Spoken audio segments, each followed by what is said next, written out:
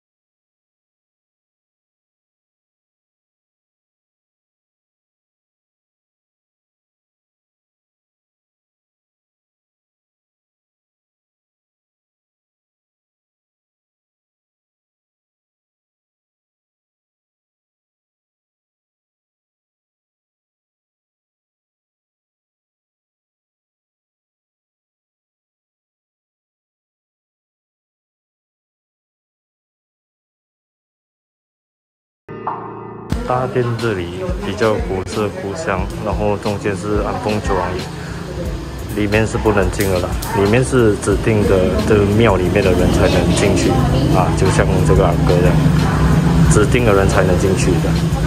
然后旁边这边就有斗夫啊，斗夫你们应该是没有看过，也就是讲就是呃，我们平时有看到就是斗母嘛，因为一般上华人是啊有父就有母，所以啊。